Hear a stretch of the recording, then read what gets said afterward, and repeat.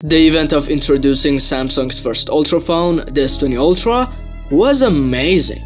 100 times zoom, a strong cooling system, best display, 108 megapixel camera, $1400. But in practice, let's be honest, it wasn't the best phone.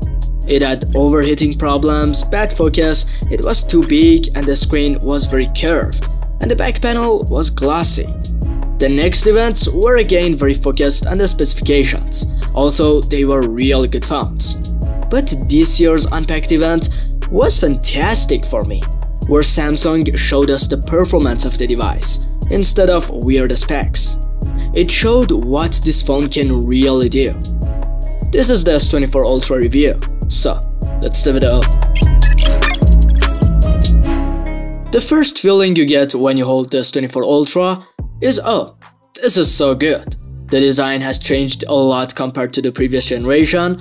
I don't mean that the camera frame becomes a star and shines on the back of the phone.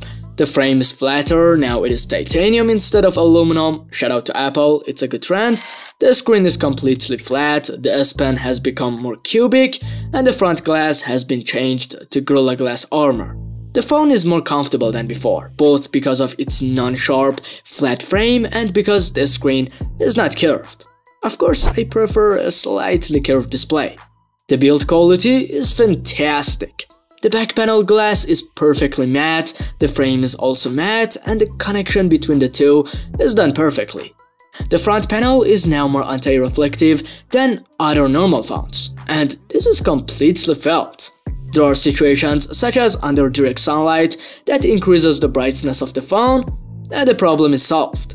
But what about in front of the window or the reflection of the reading light? This greatly affects the quality of the content, especially content with a black background in real situations. This is not something that wants to increase its rank in display tests, but in reality it has a better experience. I hope that it will be a trend that we will see in other phones as well.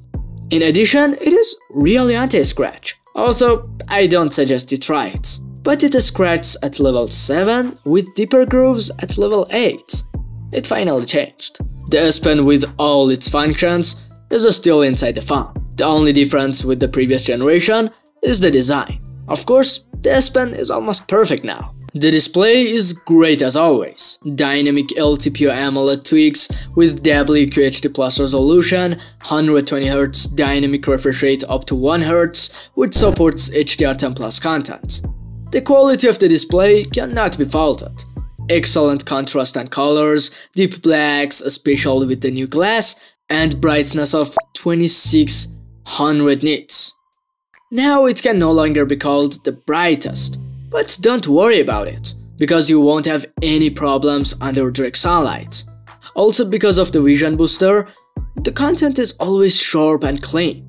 The ultrasonic fingerprint sensor is really fast and accurate and works even with wet hands.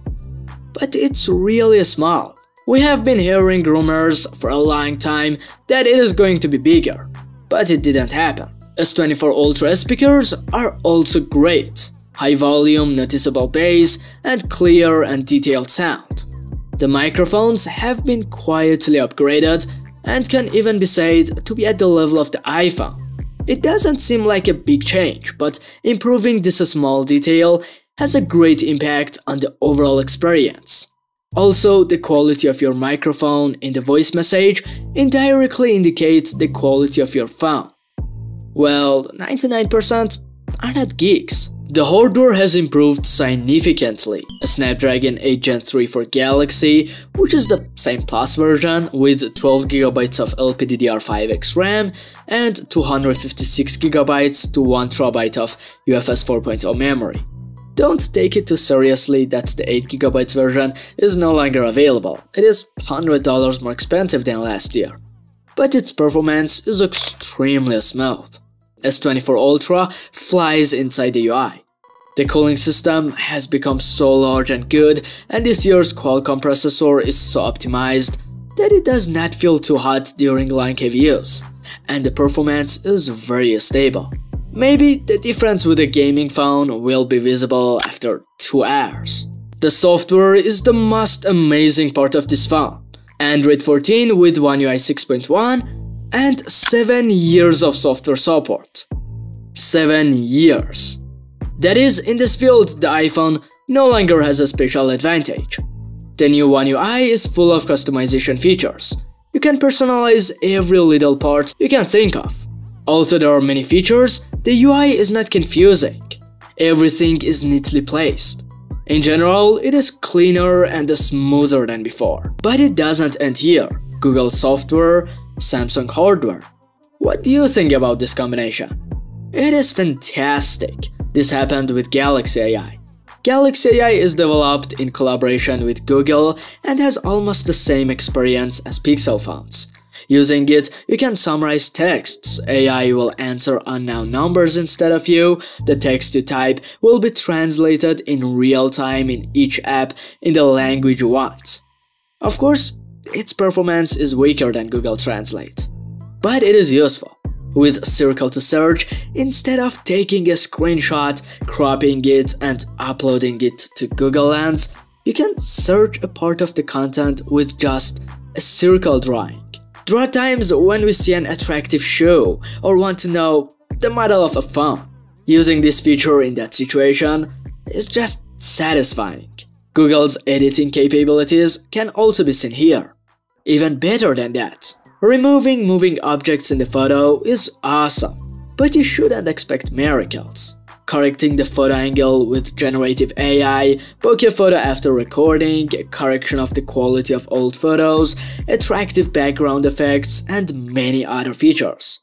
But all these have two big problems. First, you have to buy a subscription to use them in 2025. And the second problem is obvious. These processes are not done inside the phone. So you shouldn't expect high speed. Of course, this is more noticeable in photo and video editing. The S24 Ultra battery is 5000 mAh, like the previous generations. But it performs better. In some heavy usage, it can easily last a full day, and you may even use it for a few hours the next day.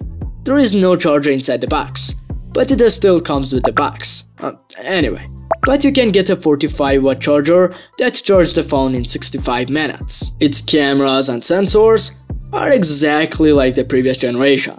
The difference is that the periscope camera has decreased from 10 times to 5 times, but now it is 50 megapixels. Samsung says that it is actually better. We don't know, maybe. The shutter lag in the S24 Ultra is much less than the S23 Ultra, but they are still 12 megapixels in normal mode. You can take a 24 megapixel photo in the Camera Raw app, but not in the main app. Photos in daylight have a high dynamic range, excellent sharpness, and a slightly cold white balance. The detail of the photos is also great, but when you zoom in on small details like leaves, you can feel the lower resolution compared to the iPhone. In most situations, the photo is perfect, but sometimes the subject may be too bright or too dark in the shadows, but not always. In night photos, the contrast and dynamic range are suitable, the details are clear, but the noise is still there. And if the light is very low, the color changes slightly, which is weaker than the 15 Pro, but it has improved. Portrait photos are great. Subject separation, background blur, and subject sharpness are excellent. Ultra-wide photos have a wide viewing angle, low noise, and good dynamic range, and the colors are close to the main lens. But the important issue is zoom. Now between 1x and 10x zoom, you can get better quality. And the fact is that this type of lens arrangement is more practical. You have a 200 megapixel camera between 1x and 3x zoom, which has very good quality even with a cropped sensor. In 3x to 5x zoom, you can trust the colors and details of the telephoto lens. 5 to 10 times zoom using a 50 megapixel sensor have completely acceptable quality with colors close to other lenses. But the fact is that the S24 Ultra works a little weaker at 10 times zoom and more. You have less gimmick, but better performance. Now you can shoot 4K 120 frames per second slow motion video and 8K 30 frames per second. I don't think 8K makes much sense with the phone but 4K slow motion videos are good. Both Periscope and main sensors have OIS, and their performance is excellent. But not compared to the iPhone. The sensor shift is still superior, especially in action mode. Selfies are very close to the style of Google Pixels. Good face processing, good detail, and wide dynamic range. But the selfie videos are still a bit noisy and soften the small details. One of the most important point of the camera is Samsung's collaboration with Snapchat and Instagram to not reduce the quality of photos and videos on these platforms, which is a positive thing for many. But still, what you get on Instagram from the videos is 80% of the original quality. But in the photos, it's okay. Maybe someone who watched the Samsung event live was a little disappointed. Less zoom, higher price, flatter screen, and some AI possibilities. Even the camera sensors didn't change. But the S24 Ultra, with the same Galaxy AI and attention to detail, is the most complete phone to date. But I normally do not suggest buying it. So why? Yes, it is a good choice if you want to have the best of the best. But the S24 Plus is $300 cheaper and only lacks Periscope and S-Pen. $300! You can also buy a flagship Bluetooth headphone. Thanks for watching. If you like this video, like it, and if you like my content, subscribe to my channel. Goodbye, see you next video.